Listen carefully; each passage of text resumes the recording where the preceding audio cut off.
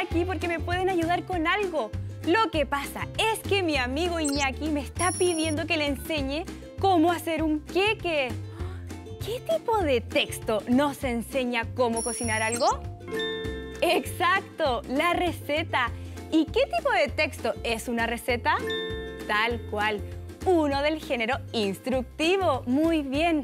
A ver, voy a ver si por aquí tengo la receta, pero no la he podido encontrar. Creo que me equivoqué de libro. Entonces, creo que vamos a tener que escribir la receta, pero no quiero equivocarme.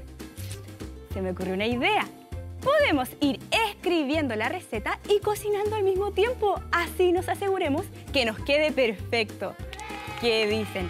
¿Se animan a convertirse en chef conmigo el día de hoy? Perfecto, veo que muchos asumen el desafío. Soy Catalina y esto es Aprendo TV.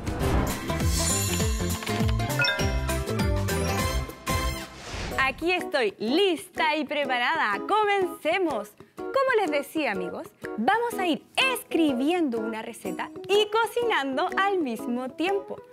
Lo primero que tenemos que escribir es el título.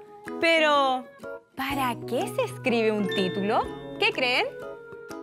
Exacto, porque así la persona que lo lea sabrá inmediatamente de qué se trata. En este caso es un queque. Entonces, ¿cómo le ponemos? ¿Le podemos escribir cualquier título, cualquier nombre? No, ¿cierto? Tiene que ser relacionado con el producto que se va a cocinar. Entonces, ¿les parece si le escribimos receta de un queque casero? ¡Excelente! Escribámoslo.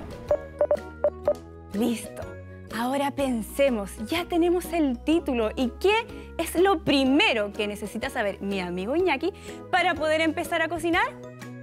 Si están pensando en los ingredientes, están en lo correcto.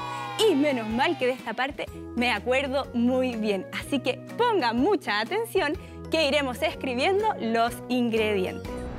Necesitamos una taza de azúcar, una taza de aceite, dos huevos, dos tazas de harina, una cucharadita de polvos de hornear y mantequilla.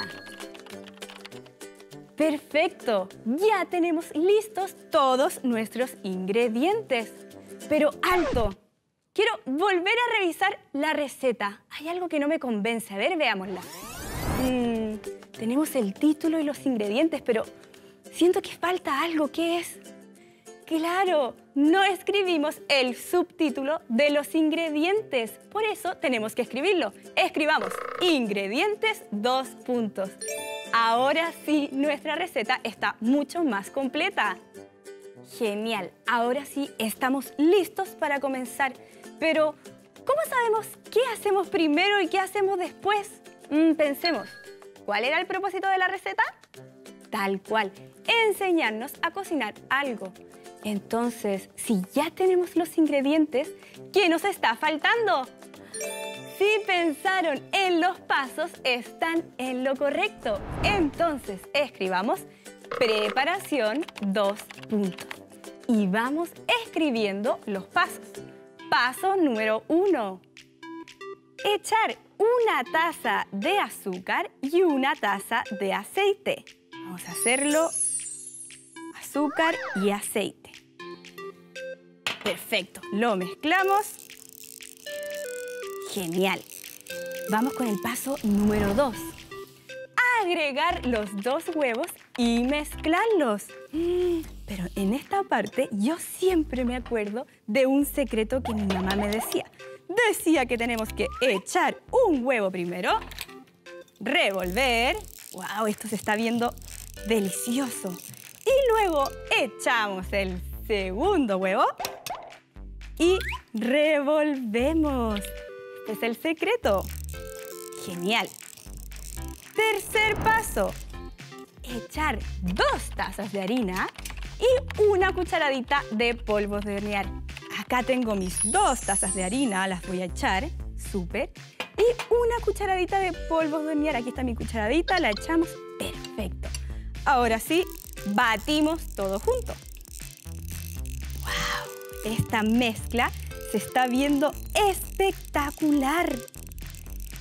Y lo mejor es que solo nos faltan dos pasos. Veamos, el cuarto paso es verter toda la mezcla en nuestro molde. Hagámoslo con mucho cuidado para que no se pierda nada de la mezcla. Este queque va a quedar pero fabuloso. Quinto paso, enmantequillar el molde para que el queque no se pegue. ¿Qué? ¿Cómo? No, tienen razón, los pasos están cambiados. No podemos echar la mezcla en el molde sin antes haber enmantequillado el molde. ¿Qué hacemos?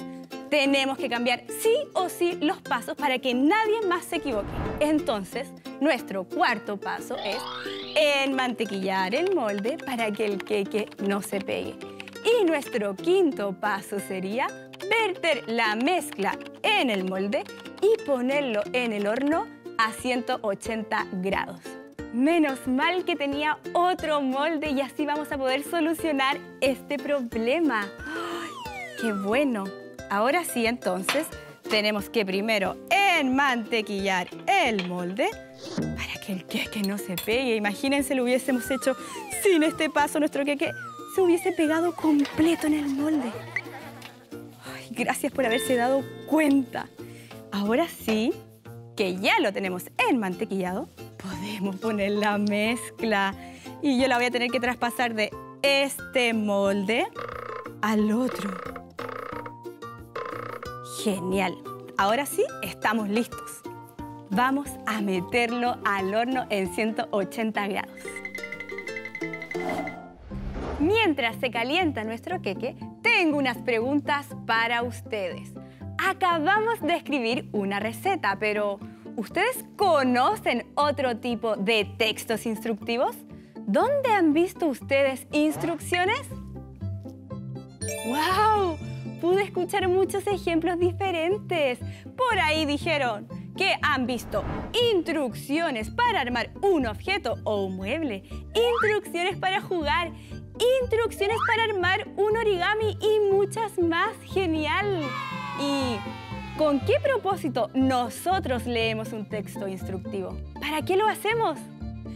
Tal cual, para saber cómo hacer algo. Mmm, siento un olor exquisito. Creo que es nuestro queque. Voy a ir a ver si está listo. ¡Wow! Nuestro queque está terminado y se ve maravilloso. Le voy a sacar una foto para poder agregarla en nuestra receta. Pero, ¿por qué creen que es importante que pongamos una imagen en nuestra receta? Tal cual, porque así la persona que quiere cocinar sabrá cómo quedará el producto, en este caso el queque. ¡Súper! Aprovechemos de revisar nuestra receta, a ver cómo quedó. ¡Wow! Tenemos el título, los ingredientes, los pasos, la imagen. Tenemos todo, está terminada y está perfecta para que se la pueda mandar a mi amigo Iñaki. Gracias a ustedes por toda su ayuda. ¡Gran trabajo, equipo! Fuimos capaces de escribir una receta, conocer su estructura y su propósito. Además, dimos ejemplos de muchos tipos de textos instructivos. Yo aquí me despido. Que estén muy bien, soy Catalina y esto es Aprendo TV. Cuídense mucho.